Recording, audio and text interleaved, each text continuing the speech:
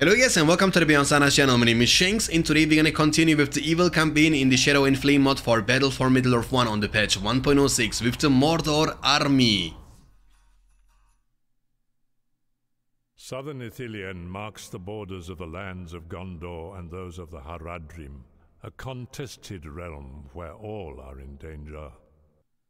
Oh yeah, Christopher Lee ladies and gentlemen.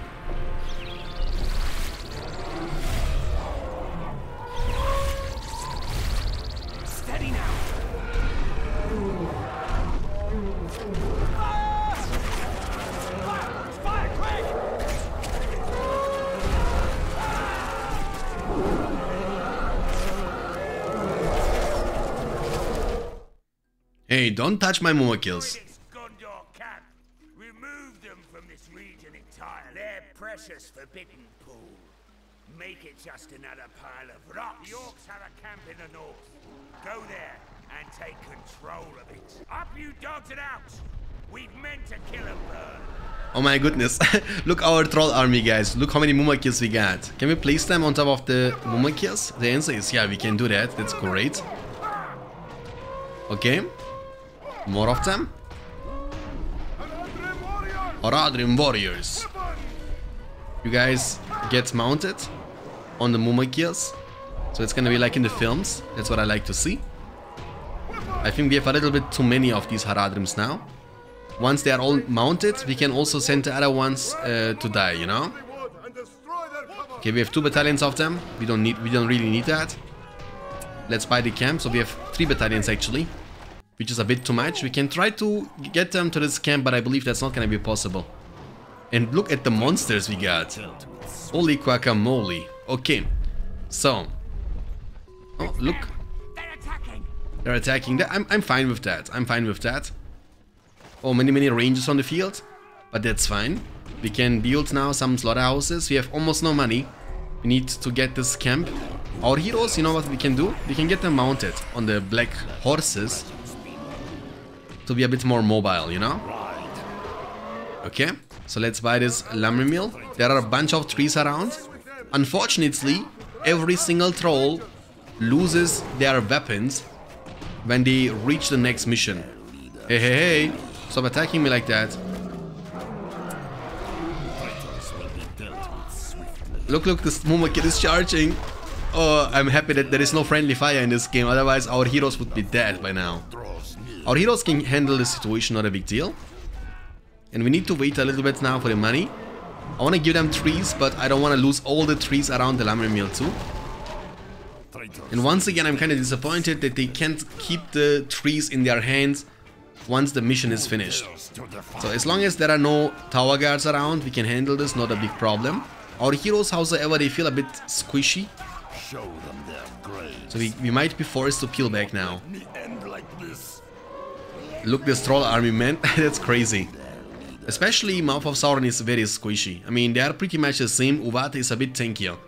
So we have a bit more money now. We can invest the money immediately into some more.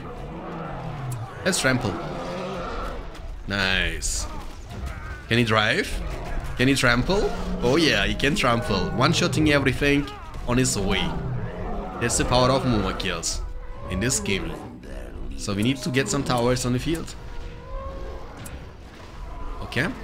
Who dares to defy me? And also the Haradrims on top of the Mumakil are doing such a great job. And that's the downside of this mod, because there is no fire in this mod, right? And without fire, it's really challenging to kill monsters like Mumakils.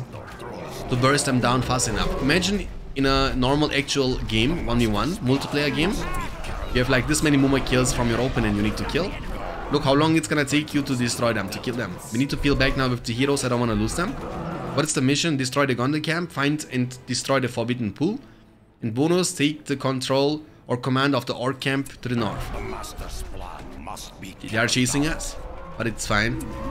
They won't be able to make it to our uh, heroes because there are many many Mumakils and or trolls they have to deal with first. Okay, so we, we need to build some more towers. If 8 power points collected, can we do something with that? The answer is yeah. Call the horde, uh, fuel the fires. I mean, I want to get scavenger because, you know, I feel like that that's more consistently. You will get money every time you kill stuff and in the mission, in the hard campaign, you will kill a lot of units. Look, plus 8, every time you kill a soldier, plus 8 every time you kill a Gondor, sword, uh, Gondor Archer Battalion. So we need to peel back now. Our heroes, they want to fight, but they need to chill a little bit more because they are taking way too much damage. Let's try to save the Mumakil. Normal movement speed of a Mumakil is very slow. You get 15 for each kill on the uh, Ranger Battalion, which is huge by the way. Okay, so we saved the Mumakil. That's nice. He's only level 1, but it's fine, because once he makes it to the next mission, he will be full health anyway, right? Look how tanky it is. Like, it's one Mumakil only. Imagine us moving out with every single Muma kill that we get. It would be almost impossible to deal for the opponent. Not only in the campaign, but also in the actual games. That's why, I guess, that's why you are limited to only 4 of them. Let's see the power of the Mumakil now. Charge, charge, charge, charge, charge, charge, charge. Okay, this one is gonna die though. This one is gonna die, but it's fine.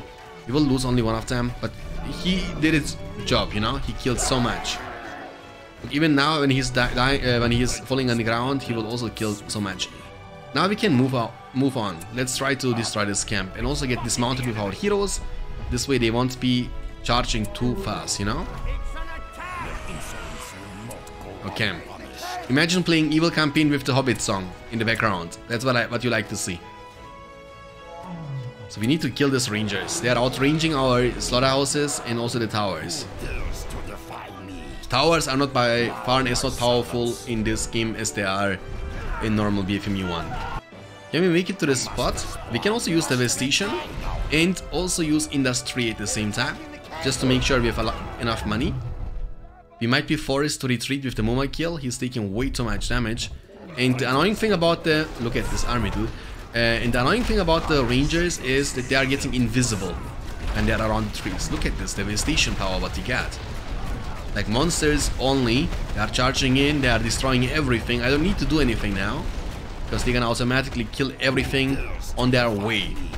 That's how powerful Mordor can be. And that is, you know, that is a reason why Saruman is saying or what why Theoden is saying what can man do against such a reckless Sith, even though he was saying that about Isengard. But there is a reason why Saruman wanted to be a dude and a friend of Sauron, you know what I'm saying? Because he knew how powerful Sauron can be. And I gotta be honest, I feel like they had the chance to win the fight multiple times. But they didn't coordinate together. Like Isengard was trying to solo Rohan and Mordor was trying to solo Rohan. Imagine if Mordor would be sending some help to Isengard at the first place, right? When it comes to invade, uh, when it comes to invade uh, the Helm's Deep, but he didn't do anything like that. So with that being said, imagine you know the Witch King joining the army from Isengard in Helm's Deep, the Witch King and all the nine Nazguls, you know, maybe some trolls too. Imagine the combination of Uruk-hai with trolls, catapults from the Mordor faction it will be impossible to defend for the good part, you know? It's almost impossible. Okay, we have so much money now, we can definitely start making some units. Uh, Mumakils, it's kind of pointless because, let's be honest, Mumakils are limited to 4, so we can't recruit more than that. So Mumakil pen would be a waste of money and a spot of our base. But a troll cage isn't. So troll cage, maybe we get the chance this time to recruit some drama trolls. Would be nice to have some drama trolls fighting for us. There is Faramir, and uh, some ranges around, but it's fine. Okay, we are in a good spot now. We can play a bit more patiently, wait for the troll cage to come up, and also the orc pits. Maybe we get the chance to uh, to purchase the fighter upgrade or something. Yeah, we have the chance. But first of all, we need to build some archers. And unlike in the normal uh, games, in the skirmish games, you are not able to buy yourself the upgrade this time. You need to get some units to passively level up the building to level 2 and level 3 which is needed for the barbed arrows for level 2 and also the banner carrier for level 2. The Mordor Uruk-hai are pretty much like the Black Orcs from the Battle for Middle-earth 2, the Rise of the Witch King. Unfortunately, we are not able to uh, get a Drama Troll on the field just yet. That's why it's kind of pointless now to get the fire. Because we have no units. Did we? No, we didn't get it yet. So you know what we're gonna do? We're gonna get mounted with these guys. I can't control this, even though it's the same color like us, but it's like a light camp. And we need to reach to this camp first of all before we can control that. The enemy! Look at this. At the bottom left side of your screen, you see Faramir at the Forbidden Pool. And I think that's our goal, right? We need to just destroy, yeah, destroy the Forbidden Pool. So we can do that. But first of all, uh, let's send our heroes to this spot. Let's make some trolls in the meantime. We have not lo lost any any single unit, but uh, Haradrims at, at the start of the game, the three of them, we were sacrificing to make some room for the other units, pretty much, that's it. Okay, now we have reached the spot, that's nice. Okay, so we can also get some trolls from this one. No, it's not possible. Now we have a lot of units we don't really need, and we can also try to sacrifice them to Faramir and the Hobbits. I like the, you know, I've played many, many mods, I've played many, many campaigns, many, many different uh, BFME custom maps, but the original BFME 1 campaign, in my opinion, is the best. You can let me know in the comment section down below what do you think is the best. I don't like the BFME 2 and the Rise of the Witch King campaign nearly as much as I like the BFME 1. I mean, the reason is not because of the games are bad or something, but because of the BFME 1 is being related, you know, pretty much like a remake of the films. You replay the entire film trilogy, you know? Which makes it so un unbelievably amazing. Especially for somebody who is in love with a Lord of the Rings stuff. And let's be real, in my opinion, still Lord of the Ring is gonna be a film everybody everybody should be watching in his life, even the new generation growing up. And once my daughter is old enough, I will definitely watch also Lord of the Rings with her. She doesn't, uh, she has to watch it. And I'm pretty sure because she's my daughter, she's gonna also enjoy it. Okay, look our army. Holy guacamole. Let's let's move on. I think uh, we don't should we shouldn't waste too much time and go just inside the jeans immediately. Okay, our heroes are... Oh my, what is this damage? Did he use one arrow or something? Someone ch chunked Mouth of Sauron with a single shot. But the revenge is coming. The Mumakils are charging, they are thirsty for man flesh. Amazing. Okay. Now the Forbidden Pool is going to be our target. And it should be just taken down in a single shot. It's tanky, but it's not tanky enough. Did we kill Faramir? I can't even see him on the, on the map. Again, maybe... The, wait, I can use Palantir? Palantir, by the way, gives you vision. You are also able to see the stealth units. Okay, that's great. And the Forbidden Pool from Gondor, ladies and gentlemen, is gonna be taken down. There's one ranger still shooting at us, but it's, it's gonna die now to the Haradrim sort of after moment kill. Victory is at hand. Victory is at hand, and Victory's screen is the best screen you can actually get.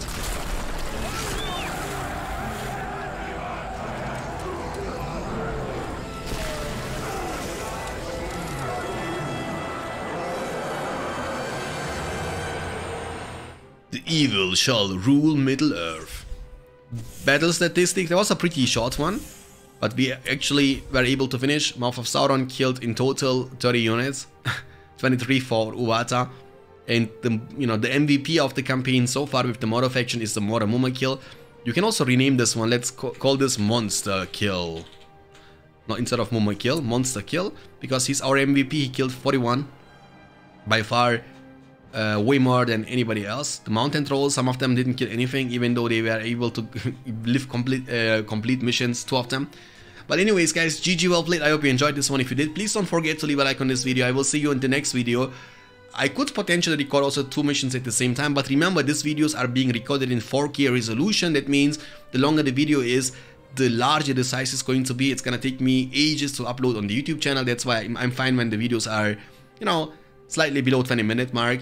And I will see you tomorrow with the next mission in the evil campaign for the Shadow and Flame mod. Until then, keep hitting like a truck and also stay beyond standards. Peace.